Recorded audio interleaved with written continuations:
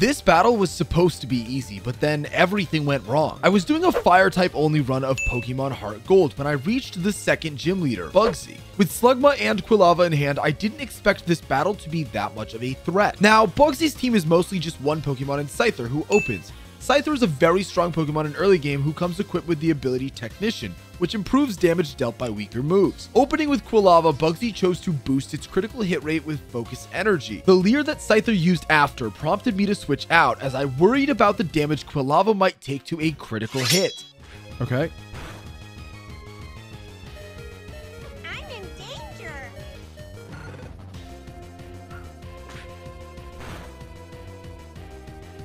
Please don't crit.